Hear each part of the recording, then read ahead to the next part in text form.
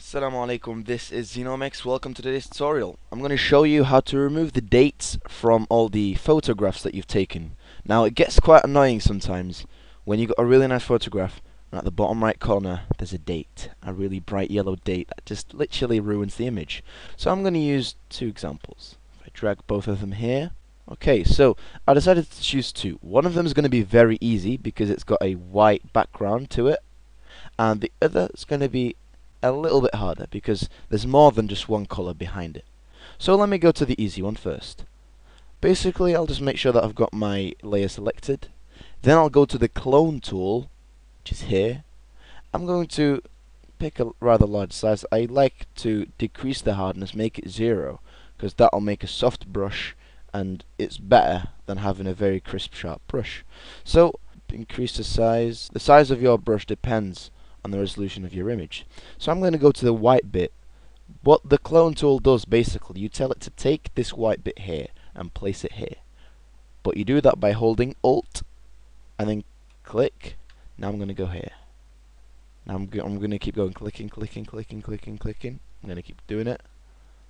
And now the date's gone. If I zoom out, right click, fit on screen, there is no date, you can't even spot it. So that was easy. I'm sure everyone can do that. But now let's see the other picture, which will take a lot more time. Now all you've got to do, because this image is portrait, I'm just going to rotate it. Image rotation 9ccw. Doesn't matter if I got it, uh, you know, the right way up or not. I can still do the same thing as long as it's wide and simple for me. So now I'm going to go to the clone tool once again. I'm going to right click and I'm going to make the size small. Okay. Now I'm simply going to do the same method. I'm going to hold Alt. And I'm going to take this texture from the tiling and just keep clicking. But I've got to be very careful. Why? It's better if you keep clicking a lot. So if I make a mistake like this, I can control Z, control Z. When you control Z once, it'll undo. But when you do it again, it'll redo.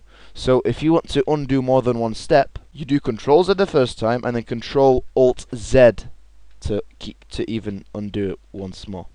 Yeah, so we'll just carry on doing this.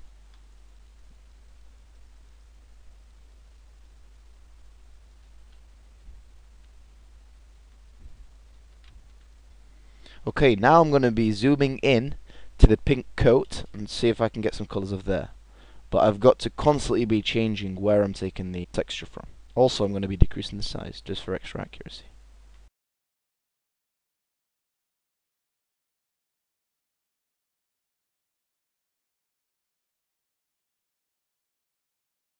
So now I think I've finished. So I'm going to zoom out. I'm going to rotate the image again to 90CW. It's up again. I'm going to click Z, right click, fit on screen. There you go. The date is gone and you can't even see it at all. It doesn't even look like there was ever a date to start with. That was a very, very simple method. I find it easy. I hope you found it easy as well. If you enjoyed this tutorial, remember to check more tutorials on my channel. There's also more guides, reviews, and unboxings. See you later, and remember to subscribe. Thank you very much for watching.